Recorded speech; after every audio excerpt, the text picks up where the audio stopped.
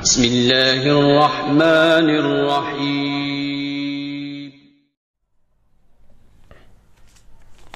Assalamu alaikum. I'm Amar Mujahid and you're watching the fifth lecture of this group theory course.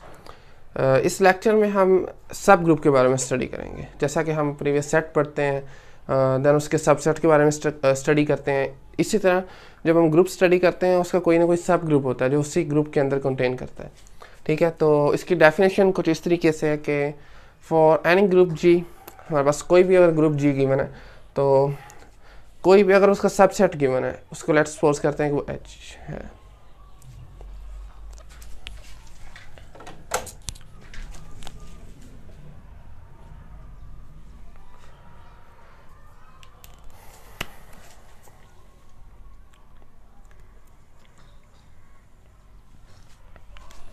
Assalamu alaikum. I am Amar Mujahid and you are watching the fifth lecture of this group theory course. Uh, इस lecture में हम एक new concept को study करेंगे जिसका नाम है सब ग्रुप जैसा कि आपने सेट्स पढ़े होंगे और जब सेट को स्टडी करते हैं उसके बाद हम सब सेट्स को स्टडी करते हैं। ठीक है? इसी तरह जब हम ग्रुप्स को स्टडी करते हैं उसके बाद एक uh, बहुत ही इंपॉर्टेंट स्ट्रक्चर है सब ग्रुप का। ठीक है? तो इसको डिफाइन करते हैं और इसकी कुछ इंपॉर्टेंट इसकी प्रॉपर्टीज़ है उसके बारे में स्टडी करेंगे। फ़र्स्ट करते हैं, हमारे पास एक ग्रुप है जी इसको कह लेते हैं then H is subset of this G ठीक है? टू कंडीशन है, कोई भी सेट अगर हम एच लेते हैं, उसके लिए कि वो जी का सब ग्रुप होगा। फ़र्स्ट कंडीशन है कि एच को जी का सबसेट होना चाहिए, ठीक है? और सेकंड कंडीशन है जो H itself is a group under the same operation जो कि जी में है। कौन कौन सी दो कंडीशन है? पहली कंडीशन ये है कि एच जी का सबसेट होना चाहिए, और दूसरी कंडीशन ये है कि एच जो वो ग्रुप इट्स ग्रुप भी होना चाहिए, जो वो अंडर द सेम ऑपरेशन जो हम जी में यूज़ करने हैं, ठीक है? देन हम कहेंगे एच जो है वो सब ग्रुप है जी का। और आमतौर पर हम इसके ये इंटेशन यूज़ करते हैं एच के सब ग्रुप जी के सब ग्रुप होने के लिए, ठीक है? जो इनक्वालिटी का साइन है एक्चुअली इसी तरह आगे हमारे पास थेरम्स हैं कुछ प्रॉपर्टीज़ हैं, कि हमारे पास कोई भी ग्रुप गिवन है, उसका सबसेट एक गिवन है, उसके सबसेट को कब हम कहेंगे कि ये सब ग्रुप भी है, ठीक है? तो फ़र्स्ट थ्योरम में इसके दो पार्ट्स हैं और ये थ्योरम हमारे पास उस वक्त अप्लाई होता है जब हमारे पास ग्रुप इनफाइनाइट होता है। फाइनाइट के केस में भी ठीक है, लेकिन ये स्पेसिफिक उसके लिए जो इनफाइनाइट ग्रुप हमारे पास अगर गिवन होगा। या फाइनाइट होगा, उसके लिए भी ठीक है, लेकिन जो सेकंड वाला थ्योरम है वो सिर्फ़ और सिर्फ़ फाइनाइट ग्रुप के लिए है, ठीक है? तो सपोज़ करते हैं हमारे पास कोई ग्रुप जी फाइनाइट भी हो सकता है इनफाइनाइट भी हो सकता है, वो गिवन है, और सबसेट एच ठीक है? एच एक सबसेट है जी का। देन हम एच को सब ग्रुप कब कहेंगे? If and only for any pair x y belongs to H अगर हम कोई भी एक्स वाई में से सॉरी एच में से पेयर पकड़ते हैं लेट किया कि एक्स और y then we have x dot y inverse belongs to H ठीक है? यानी कि एक्स का अगर ऑपरेशन लें वाई के इन्वर्स के साथ तो हमारे पास जो एलिमेंट आएगा वो भी एच में होना चाहिए। अगर ये कंडीशन सेटिस्फाई करती है देन हम कह सकते हैं कि एच है जो वो जी का सब ग्रुप है, ठीक है? लेकिन यहाँ पर एक छोटी सी और कंडीशन ये है कि एक्स और वाई आइडेंटिटी एलिमेंट नहीं होने चाहिए। अदर दैन आइडेंटिटी एलिमेंट के लिए अगर ये कंडीशन सेटिस्फाई करती है, यानी कि एक्स का अगर हम ऑपरेशन लेते हैं वाई के इन्वर्स के साथ, अगर वो एलिमेंट जो नेक्स्ट एलिमेंट जो आता है हमारे पास, वो भी अगर एच में से आता है देन हम कहेंगे एच इज़ अ सब ग्रुप ऑफ़ जी और ये for all x y belongs to H के लिए, ठीक है? इसी तरह हमारे पास एक और इसका प्रॉपर्टी है किसी सबसेट एच के सब ग्रुप होने के लिए, ठीक है? वो ये कहती है कि for all x y belongs to H हमारे पास x dot y belongs H होना चाहिए। इनके कोई भी अगर हम एक्स और वाई दो एलिमेंट पकड़ें एच में से, उनको मल्टीप्लाई करें या हम कह सकते हैं कि उनके दरमियान ऑपरेशन लें, हमारे पास जो नेक्स्ट एलिमेंट आए, वो भी एच में से होना चाहिए, ठीक है? And for all x belongs to H उसका इन्वर्स भी उसी में से होना चाहिए, ठीक है? इस थ्योरम में दोनों चीज़ें इसी में ही कवर हो गई थी। लेकिन इसमें थोड़ा सा इसने एक्सपेंड करके लिख दिया है कि एक्स वाई के लिए यानी कि क्लोज होना चाहिए। इन जनरल हम ये कह सकते हैं कि एच जो है वो क्लोज होना चाहिए अंडर द ऑपरेशन जो हम यूज़ कर रहे हैं। और हर एलिमेंट का इन्वर्स भी एच में होना चाहिए। कोई भी अगर हम एच से एलिमेंट पकड़ते हैं, उसका इन्वर्स भी एच में होना चाहिए। ठीक है? या, ये कंडीशन भी सेटिस्फाई कर गई या ये कर गई कोई दोनों में से एक भी करेगी तो हम कहेंगे एच जो वो जी का सब ग्रुप है। ठीक है? ये बात हो रही थी ग्रुप कोई भी हो सकता है फाइनाइट भी हो सकता है इनफाइनाइट भी हो सकता है। लेकिन अगर हमारे पास ग्रुप है जो फाइनाइट है तो हमारे पास काम जो है थोड़ा सा आसान हो जाता है। देन कोई भी सबसेट एच जी का उसको सब ग्रुप कहेंगे if and only if H is closed simple यानी कि क्लोज का मतलब आपको पता है कि हमारे पास कोई भी दो अगर एलिमेंट ने, ये property for all x y belongs to H x dot y belongs to H इसका मतलब है कि हमारे पास जो एच है वो क्लोज है। अगर ग्रुप हमारे पास फाइनाइट होगा तो सिर्फ़ सिर्फ़ हमने ये प्रूव करना है कि जो एच हमारे पास सब सेट है, वो क्लोज है अंडर द ऑपरेशन जो हम जी में यूज़ कर रहे हैं। देन हम कह सकते हैं कि हमारे पास जो सबसेट हमने एच लिया था वो जी का सब ग्रुप है। ओके okay, तो हमारे पास नेक्स्ट एक एग्जांपल है। हम इसमें सब ग्रुप को प्रूव करेंगे। हमारे पास जी एक ग्रुप है जिसमें हमने एक ग्रुप लिया। रियल नंबर्स का इसमें ज़ीरो को माइनस किया under the operation of multiplication ठीक है?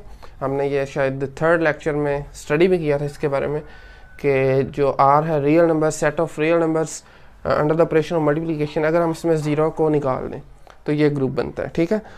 और हमने सब सेट लिया इसका, जिसमें तमाम एलिमेंट्स इस फॉर्म के a plus b into square root of two और ए भी यहाँ पर रैशनल नंबर्स हैं, ठीक है?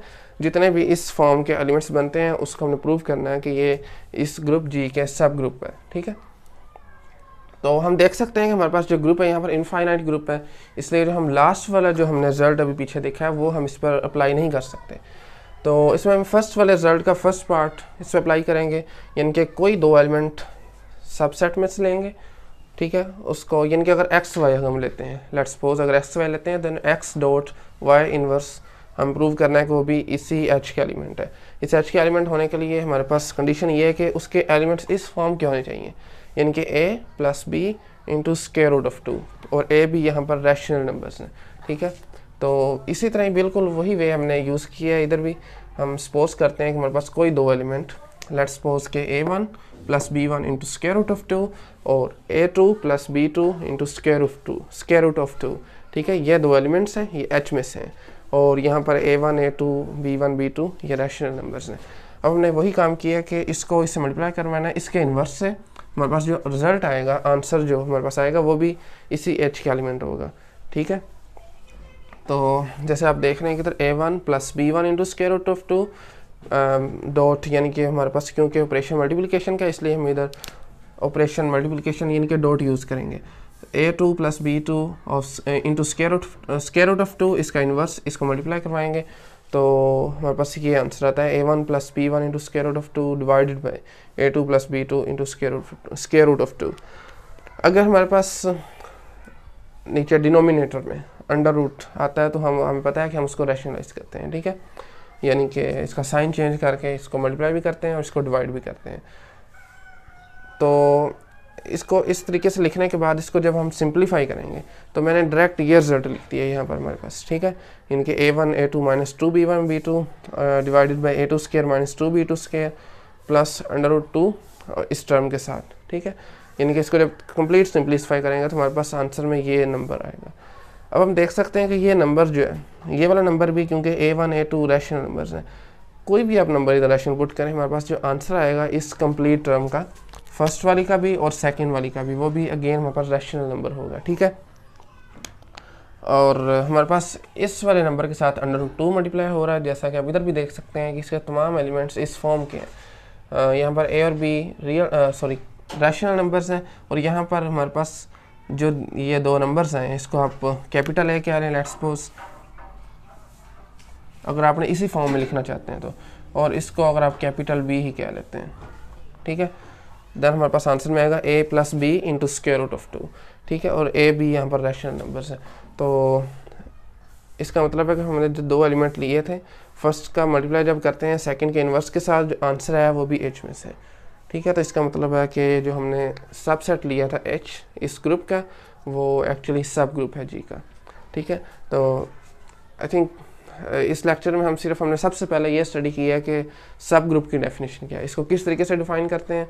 और उसके बाद हमने इसके एग्जांपल लिए कि कोई भी हमारे पास सब सेट गिवन है, उसको प्रूव किस तरीके से करते हैं कि ये कोई गिवन ग्रुप है जी, उसका सब ग्रुप है। ठीक है? यहाँ पर हमारे पास इनफाइनाइट ग्रुप था, इसलिए हमने ये वे यूज़ किया है। अगर हमारे पास फाइनाइट ग्रुप हो, ठीक है देन हम सिंपली इसको सिर्फ़ क्लोज प्रूव करना है, उसके सब सेट को, ठीक है?